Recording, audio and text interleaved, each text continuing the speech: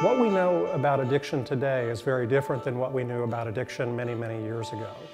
Uh, many years ago, we thought about addiction as a character flaw or a weakness, that if somebody was just strong enough or good enough, um, they could overcome. And what we now understand about addiction as a disease of the brain, of the reward circuit in the brain, uh, to where people with the disease of addiction have a disproportionate response or a different response to drugs than people who do not have addiction, making them much more likely to, to get hooked on these drugs and much more likely to uh, get damaged in terms of the consequences in their lives. There are lots of reasons why those things occur.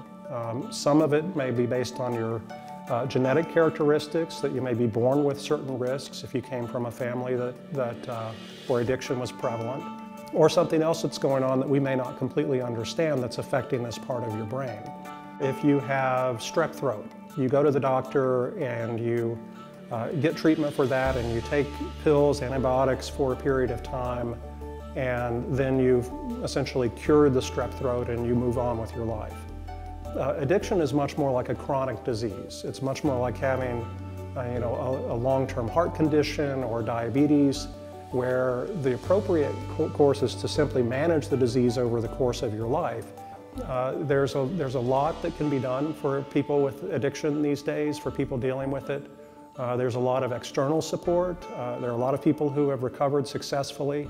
Uh, even though you may not feel that there's hope for you, uh, there's absolutely hope. There are so many stories of positive stories of recovery where people have been able to recover their lives from very, very difficult, desperate circumstances. I think it's possible that someday we actually uh, can cure the disease of addiction just like many other diseases. Uh, today, I think the best treatments that we have are, uh, there's are certainly medication that can help addiction, and there's lots of therapies that can help addiction. You know, just like if you work with depression, you can go and talk to a therapist and get assistance that helps you deal with your depression at the same time that you may also take medication.